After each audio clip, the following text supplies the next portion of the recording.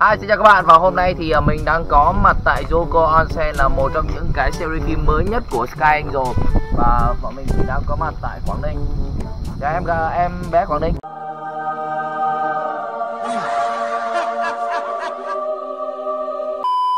Vâng, chào anh. Vâng, chào anh. Thì à, người Quảng Ninh thì các bạn thấy là họ khơi đen bởi vì họ xuất thân là là những người làm than và nó được xem gọi là vàng đen. Các bạn nhìn làn da này, đây sự khác biệt đấy. Đó thì hôm nay ở đây là một trong những cái khu du lịch mới rất là nổi tiếng bởi vì ở trước đây nó là một cái khu ờ, tắm suối nước nóng thì đã có rồi nhưng bây giờ họ đã đầu tư xây dựng nó trông giống như một cái nhật bản thu nhỏ ở việt nam. Thì bạn có thể nhìn ở phía trước của chúng ta nó mang đậm chất văn hóa nhật bản. À, mình không biết là trong này liệu các cô gái có mặc kimono hay là nói chung là những gì các bạn thấy trong phim nhật thì không biết nó có diễn ra hay không. Trong phim nhật mình xem thì thường ví dụ như là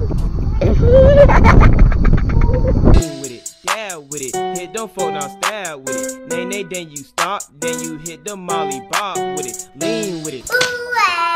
Bạn sẽ nhìn thấy ở bên này thì à, sẽ có logo người ta đi vào bên trong đi nhỉ.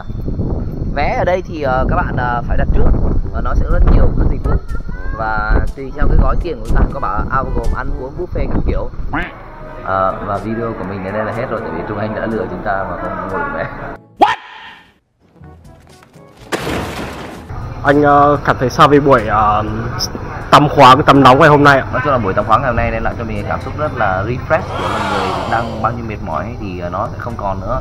À, mình thấy cái hình thức này được nhân rộng ra chứ không như kiểu là massage ở Hà Nội mình đi mấy cái chỗ um, um, massage gì massage gì anh Phong hay dẫn em đi nhỉ? Um, massage trườn bò mà tinh dầu ấy xong rồi có nóng lạnh rồi cũng như là sữa chua rồi nước ngọt đấy kiểu kiểu gì thấy kiểu đấy nó làm cho mình ờ, nó chỉ sảng khoái trong giây phút thôi nhưng về sau cảm thấy hơi mệt xong sống ra những sự lo lắng như là những căn bệnh có thể truyền nhiễm. Khi đấy những cái này thì hạnh phúc và vui vẻ rất là nhiều đặc biệt là có cả khu tắm chung nam nữ nhưng mà các bạn phải mặc đồ lót. Ở khu không tắm chung thì các bạn sẽ không cần phải mặc đồ lót. Oh my god! Wow. thì uh, lúc mà không hiểu sao mà lúc đấy anh phong vừa xuống cái thì anh phong Ờ, tự nhiên có một cái gì thì ngóc lên như kiểu quái vật hồ lóc nét đấy anh em con trai đứng dậy bỏ chạy hết. Bởi vì khu mỗi con trai với nhau mà tự nhiên mà như thế thì các bạn bảo có đáng lo không ạ? Nhưng mà tại sao bạn đi rồi mà bạn vẫn mặc lại cái áo như lúc đấy vậy? À cái này mình bộ là mình tại vì khi bạn vào các bạn sẽ cởi ra mặc một cái bộ đồ của bên uh, onsen họ sẽ đưa cho mặc bộ đồ giống như kimono. Người ta sẽ cởi toàn bộ giày dép của chúng ta xong cuối cùng ta lại ra ta lấy đồ lại. Anh nghĩ sao về lần quay trở lại uh, kênh vlog của mình nhỉ à tôi nghĩ rằng là lười biếng này không chịu trong làm ăn tiền ăn tiền. À kênh này tôi hỏi tiền là xin lỗi. Không chịu đi massage này tôi năm nay hơn 70 tuổi mà tôi chưa gặp cái trường hợp nào mà nó như thế này cả. Chứ phải tôi tôi đấm cho mấy nhát rồi. Mỗi người một chiếc Apple Watch. Wow. Làm mất Apple Watch anh nhé ờ, anh mà làm mất Apple Watch là Thả này vòng nhá. Ôi, thế là 500 nghìn một lần vòng ở đây. Bắt Apple Watch là đền 500 nghìn nha các bạn. Chứ không phải có bảo hành một đội một. Rồi, ok như vậy chúng ta đã đi vào trong khu vực ở đây. Wow. nhìn uh, nó đây kiểu vườn nhật đây kiểu vườn nhật giống kiểu vườn nhật mà nó rất là kiểu nhẹ nhàng. Cái uh, phong thái đây nó rất là và nói trong này đây là khu vực ẩm thực. Ẩm thực đây thì sẽ vừa có ẩm thực nhật bản rồi các loại thức ăn ở các nước thì các bạn có thể trải nghiệm. Một khăn choàng một khăn mặt và áo yukata Two hours later.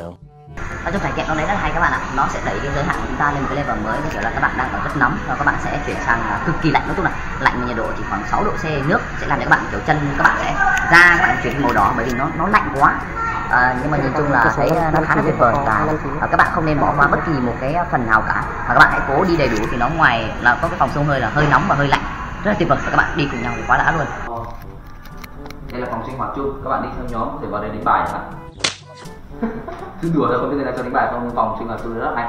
Chỗ này cắm một cái tripod làm một cái ảnh tập thể tuyệt vời không có gì chê luôn. Ở đây có cả phòng ngủ bên cạnh các bạn luôn. Chỗ này mà quẹn thì đừng hỏi luôn. Quẹn Ôi, đất tạ Trời ghê chưa? Ghê ghê ghê chưa? Ghê chưa? Ghê chưa?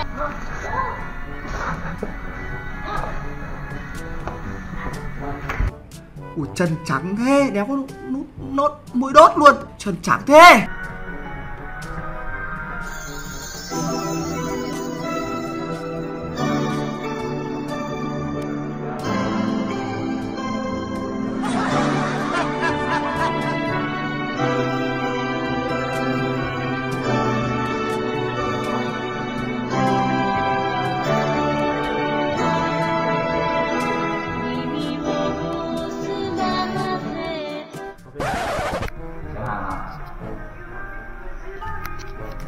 ui dồi ôi.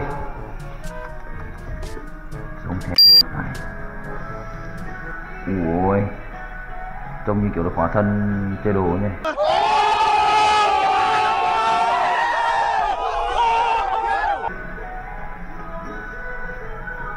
Beijing welcome you vãi. Nói chung là quá tuyệt vời, không có gì phải chê à, Bọn mình thì xin phép không review đồ ăn Bởi vì thực tế là mấy ngày không có nhu cầu ăn uống. Còn nào mà bọn mình ở lại à, lâu hơn và có ăn uống thì sẽ chia sẻ với các bạn. À, Với những cái trải nghiệm và giá thành thì mình thấy hết sức là hợp lý rồi. Vâng, à, cảm ơn các bạn và hẹn gặp lại anh em trong các video lần sau.